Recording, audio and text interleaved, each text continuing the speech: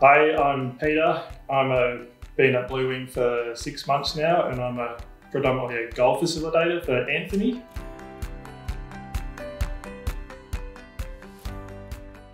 Um, I've been a tradesperson my whole life, being a boat builder, and yeah, for my whole life basically. And then six months ago, I realised I wasn't getting much job satisfaction.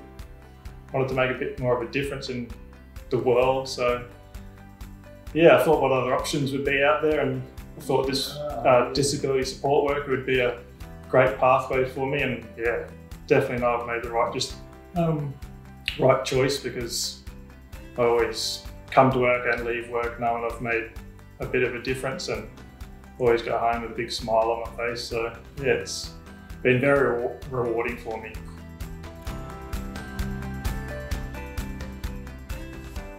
Well, I noticed, I remember one time Anthony was in the hospital. He had a bit of a nasty injury on his back. And just me walking into the hospital that day and seeing his face, Peter, it's great to see you. And just that alone is just, it's priceless. It really makes you feel special when you see how much it means to them when you walk in the door.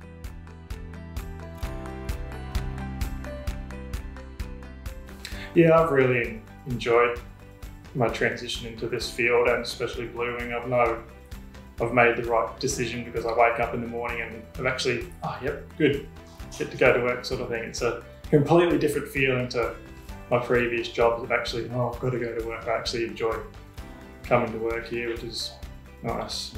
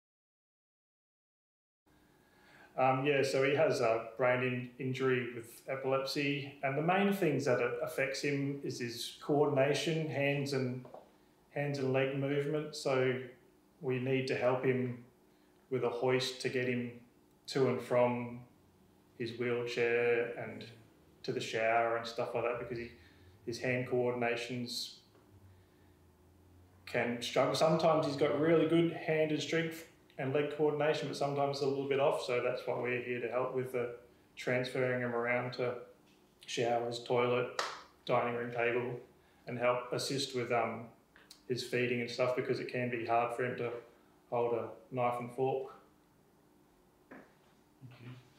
Um, uh, what's what's it like working for Blue Wings? Yeah, I've really enjoyed my transition into this field and especially Blue Wing. I've know I've made the right decision because I wake up in the morning and I'm actually, oh, yep, good, get to go to work sort of thing. It's a completely different feeling to my previous jobs of actually, oh, I've got to go to work. I actually enjoy coming to work here, which is nice. Awesome. I want to ask you another question. Won't be in this interview, but it's probably more of a question around um, uh, people wanting to do the transition. We're trying to find. So I might just ask you again. Um, yeah, I'll just ask another question, but this will be for another. Yeah like, can you just um, uh, give me a name and your background, name what you previously did, and um, my next part will be like someone who is trying to look for a career change, what's your recommendation? Yeah, okay. Um, yeah, I've been a boat builder my whole life.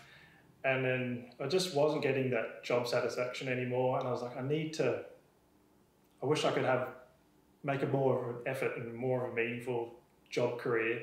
And I noticed my son was struggling in high school a little bit. And he started going through this course at school, which was about, you know, mindfulness and all this sort of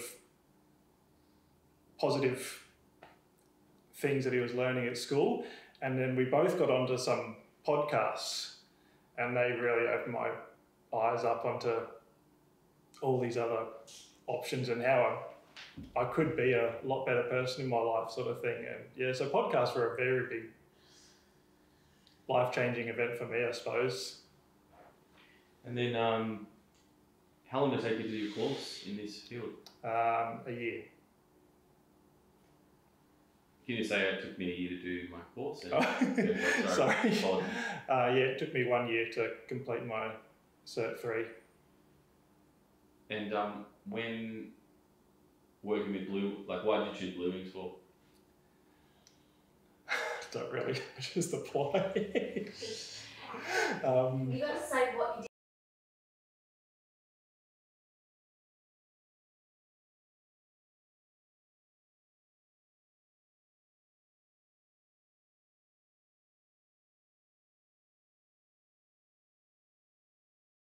Peter, it's great to see you. And just that alone is just, it's priceless. It really makes you feel special when you see how much it means to them when you walk in the door and